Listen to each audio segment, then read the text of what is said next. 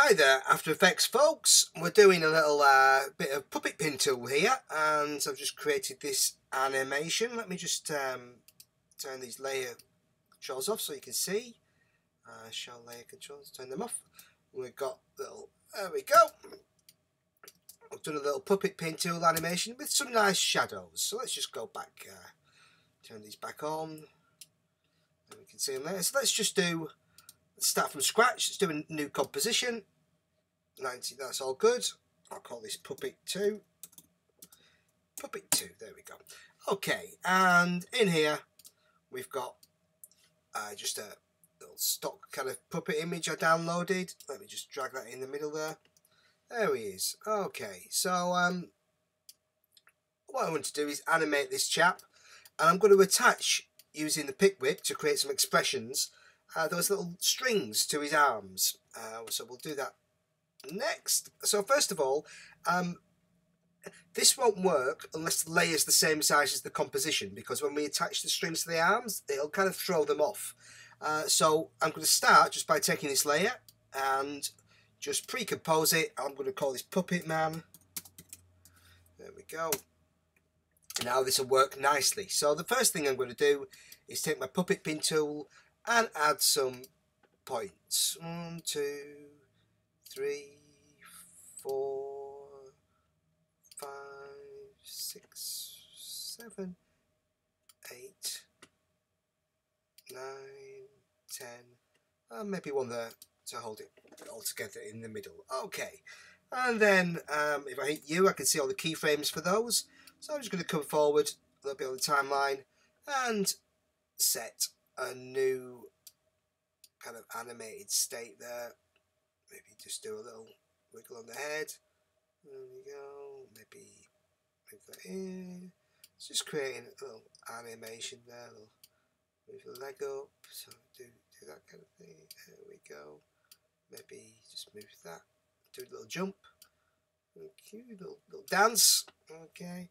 And maybe having wiggle back a little. There we go just create a little section 2 and then just going to come through and do what and maybe what I'll do is I'll just um, I'll just select all those I'll just hit another keyframe just so it stops there for a sec so it goes to there stops and then at two seconds I'll do another set of movements. So I'll just move it in a different way. Ooh, do a little splits there let's just say just not really thinking much about this just doing some just give him some movement.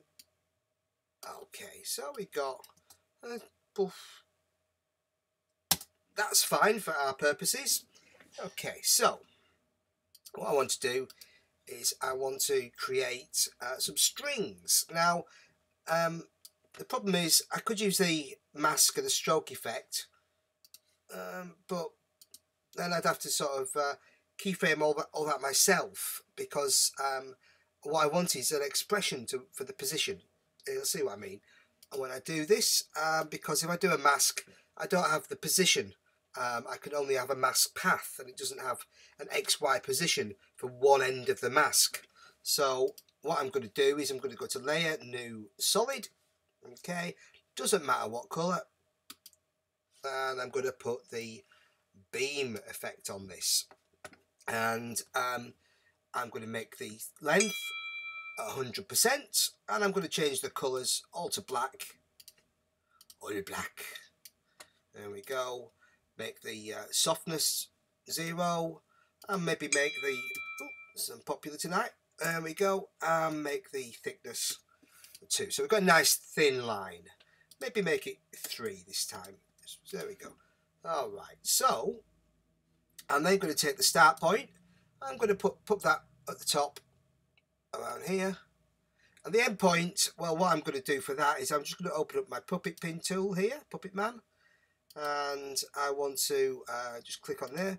I want to find out what that one is. So click on that, and that's puppet pin 6. So just going to go back to here and I'm going to go to my ending point. I'm going to alt click on that to open up the expressions I'm going to pick whip the position for the ending point, drag it down. Here we go. There we go. Drag it all the way down to puppet pin 6. Click it on there. Click there. And now we've got... Okay. So now what I can do is I can take this beam and I can uh, duplicate this. And I can take the starting point here and put it say there. Now we're not seeing the beam yet because this one's kind of writing over it. But if I click on composite on original we'll get both back. So that's all good. Now um, if I hit E, E, I can see the expressions there.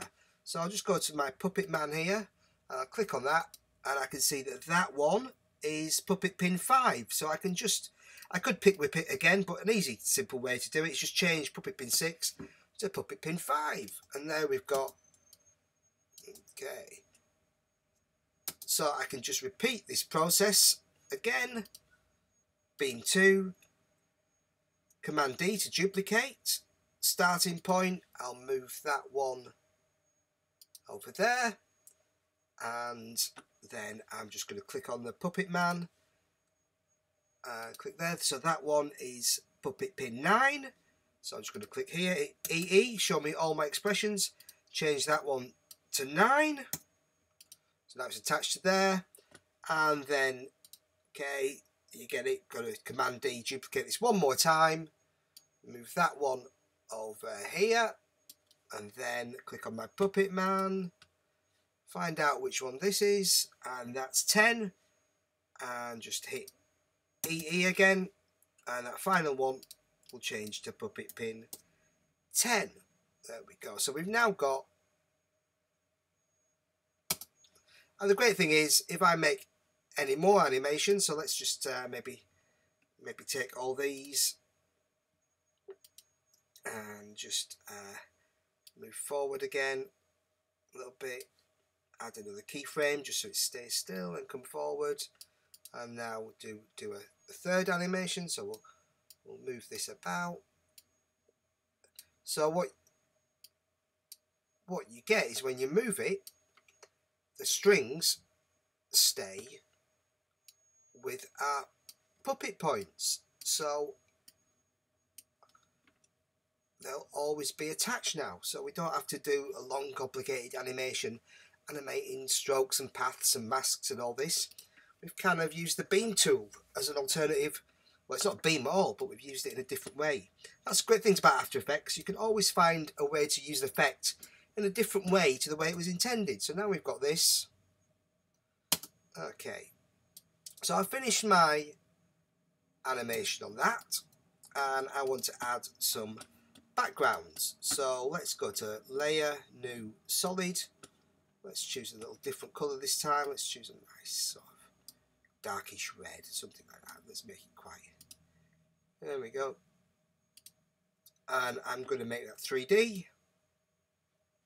And I'm just going to go to my custom view, which is a nice easy way to do it. And I need to also make my Puppet Man 3D. And I'm going to push him back behind the Puppet Man. There we go.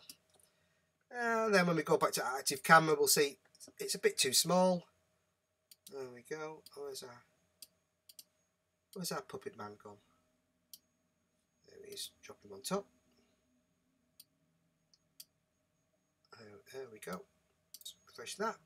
And then we'll uh, we'll be losing we'll lose these a little bit, but we'll get these back. We'll just bring these up on the top as well. Go to active camera, and then we're going to scale up the background scale that out to fill the background. Could be bigger. And then let's duplicate this layer. Command D hit R for rotation do the X at 90 like that and then I'll just turn this one off so I can see what we're doing. Pull this one down until it sort of touches the feet there. And then maybe just also hit S for scale.